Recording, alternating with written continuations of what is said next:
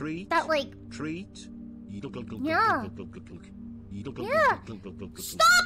Stop! Stop! Who are you sucking off? Stop it! Purchase potato chips.